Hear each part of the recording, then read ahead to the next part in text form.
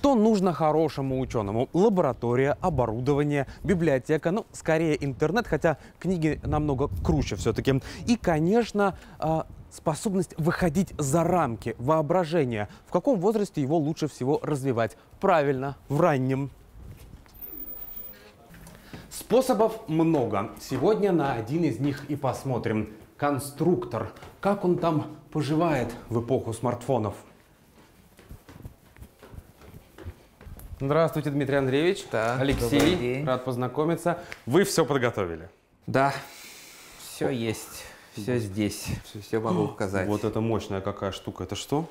Это 12-гранник, э, их в мире существует два 12-гранника. Это один 12-гранник из одинаковых ромбов. То есть э, фигуры пространственные, у которых одинаковые грани, их вообще не так много. А конструктор как вот в этих Вот, теперь что такое появился? конструктор? Как он появился? Он появился из геометрии. Появился следующим образом. Вот я тут даже собрал такую простую вещь. И здесь видно, что детали, которые между собой не соединяются, а находятся через одну, вот все желтые, Мгм. они представляют собой такую кубическую решетку у них. То есть все они Так. стоят ровненько. И детали мои, по сути дела, являются частью этой решетки. Так как решетка одинаковая, то я могу соединять их с чем угодно. То есть либо с одной решеткой, либо с другой. Тут же, в принципе, есть э, три соединения. Соединение плоскость-плоскость. Соединение, когда я торцом в плоскость, вот такое вот. И соединение, когда два торца вот так вот соединяются. Вот так вот держится. Вот. И все эти три соединения взрослые находят не сразу, дети находят гораздо быстрее. Дети умнее взрослых. Они не, не связаны как бы стереотипами Лего, когда только сверху вниз соединяется. Вот, кстати, про стереотипы Лего. Несколько лет назад они признали свое поражение перед современными игрушками. То есть это было официальное заявление, что ну, не можем конкурировать, но работать продолжили. И вы создаете. Как это между собой вот соотносится? Ну, да, конечно, идут вперед технологии, дети все больше уходят в компьютеры и планшеты. У нас, э, ну, есть тоже приложение на планшете и на компьютере. Вот в семнадцатый год а, до сентября месяца прирост в 70% сохранялся. С сентября месяца 2017 года я почувствовала по непонятным в начале для меня причинам некий спад. И когда я стала выяснять, выяснилось, что Лего впервые, впервые в 2017 году недополучил прибыль.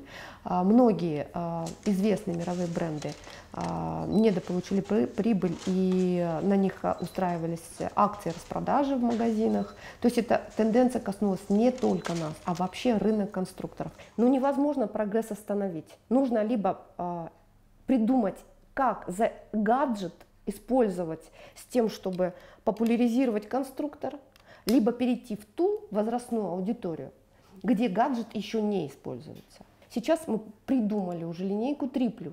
У нас есть рынок а, конструкторы для магазинов, оптовики, магазины ритейл, да, классический ритейл, и конструкторы для системы образования. Это отдельный рынок, совершенно отдельный рынок. И там совершенно другие наборы. А, Они не требуют бумажной упаковки, это должны быть наборы вот в пластиковых коробочках а, с программой, методические обеспечения, полное, да, и это совсем другой ассортимент. Так вот, из-за кризиса, который случился, мы диверсифицировали свои продажи, и вот как раз умный конструктор в системе образования, а, он гораздо более востребован, чем в ритейле. И, скажем так, если у нас раньше было там 70% это был ритейл, а 30% все остальное это экспорт и система образования, то сегодня у меня а, образование уже 45% или почти 50%, а ритейл все остальное. А вот слышали что-нибудь про то, как, я не знаю, может быть, э, ученые какие-нибудь, создатели роботов сначала тестируют вот на таких конструкторах? Что-то никому не предоставляли? Ну, вот мы это- так- такого сотрудничества, к сожалению, не нашли. Да, но у нас есть вот э, сотрудничество было с э, научными развлечениями, такая компания. Они всякие э, делают для школ разработки типа изучения сил, нагрузок, у них и датчики есть и так далее. У нас с ними есть разработка как раз туда входит железнодорожный мост, там не такой, но некий другой, где изучается нагрузка. То есть у них есть некий паровозик такой, который ходит по мосту, и вставляются датчики напряжения вот в, ну, в колонны, которые держат или поддерживают прямо сюда.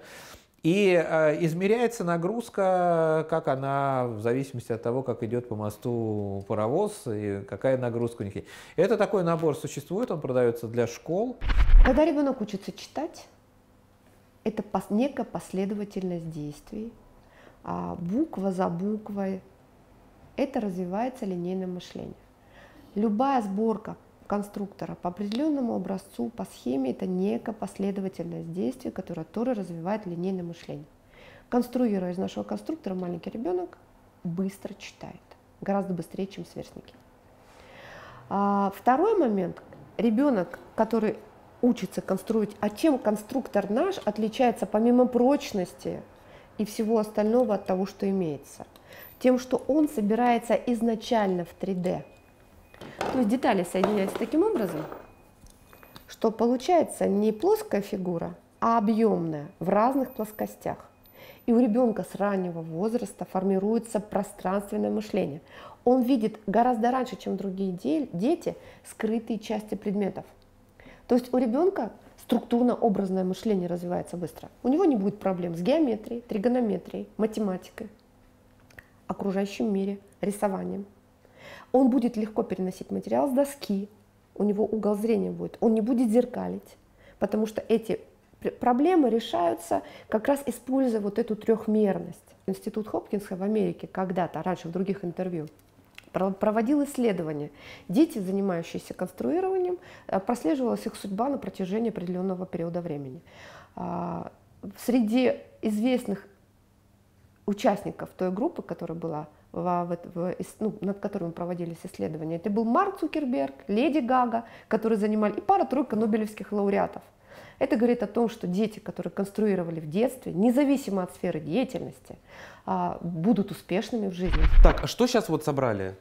10 одинаковых деталей, вот такая э, конструкция, где деталька держит сразу несколько деталей, угу. переплетаются. Так, это у нас тест на прочность, да, конструктора? Тест на прочность. Ну давайте.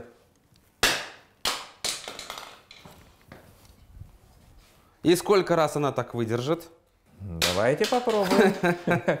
Скорее пластмасса ломается, то есть деталь может сломаться, но не рассыпется соединение. Можно мебель домашнюю и офисную собирать? Ну, в общем, да. Я могу на, этот, на табуретку из конструктора сесть? Да. да. Я вешу много. Ну, и, и, и садился более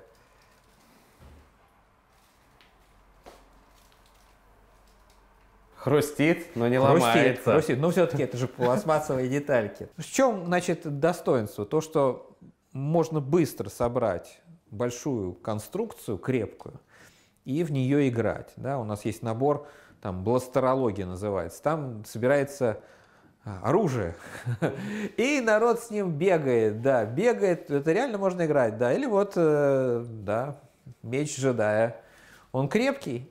У нас даже есть видео, где мы сняли, когда бьются на этих мечах, и потом уже со всей силой бьют и разбивают. Ну, ну как-то он, да, там хрустит что-то внутри немножко ну есть. Ну да, но все-таки пластмассовые детальки. Ну, они да. не склеены, они соединены. Ну что ж, есть куда развиваться, есть с кем искать сотрудничество, и это прекрасно. Спасибо вам огромное за то, что нашли время. Прощаемся. Спасибо вам, да. До свидания. Счастливо.